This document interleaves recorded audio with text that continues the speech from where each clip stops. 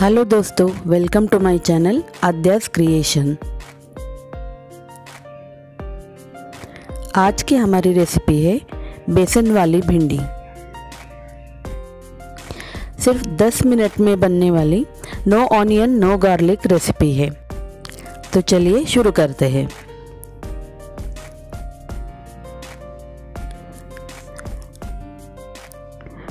भिंडी खरीदते वक्त सबसे पहले उसको लेके ऐसे उसके सिरे को तोड़ के देख लीजिए। वो आसानी से टूट गया तो भिंडी ताज़ा है। भिंडी को अच्छे से धो के सुखा लिया है और उसको दोनों सिरे को ऐसे काटना है।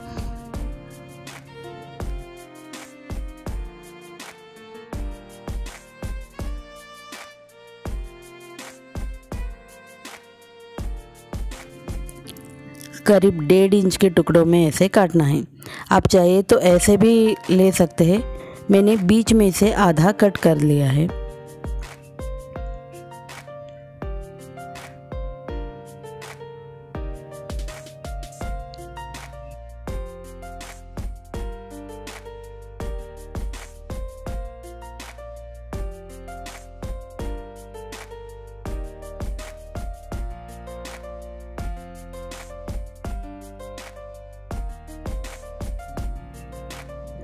सारी भिंडियों को काट के ले लिया है। अब एक पैन में दो से तीन टीस्पून तेल डालना है। तेल गरम होते ही उसमें आधा चम्मच जीरा, एक चौथाई चम्मच हींग डालना है।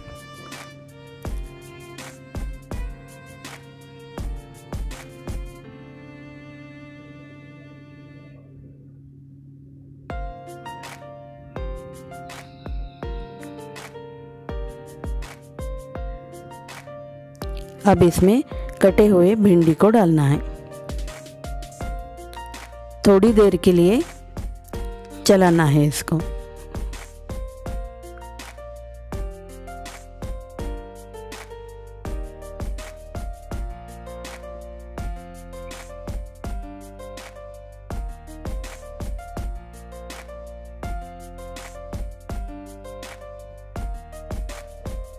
अब तुरंत इसमें स्वादानुसार नमक और एक टीस्पून आमचूर पाउडर डालना है। इन दोनों चीज़ों की वजह से भिंडी में जो स्टिकीनेस होता है, वो निकल जाता है। अच्छे से मीडियम से हाई फ्लेम में भूनना है। लगातार ऐसे चलाना है।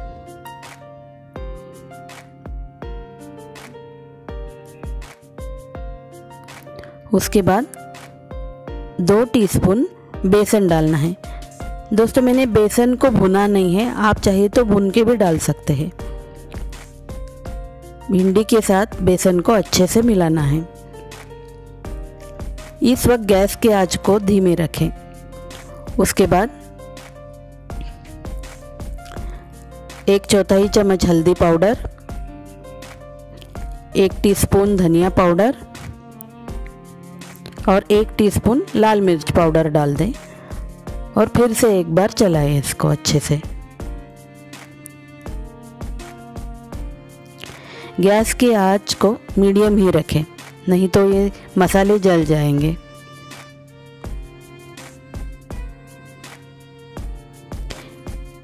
भिंडी बहुत जल्दी पक जाती है, इसको पानी डालने की बिल्कुल भी ज़रूरत नहीं है। सारे मसालों को अच्छे से मिलाने के बाद ढक्कन लगा के मीडियम आँच पे करीब दो से तीन मिनट के लिए इसको पकाएँ। ये देखिए, कितने अच्छे से भिंडी पक गई है और सारे मसालों के साथ अच्छे से मिल गई हैं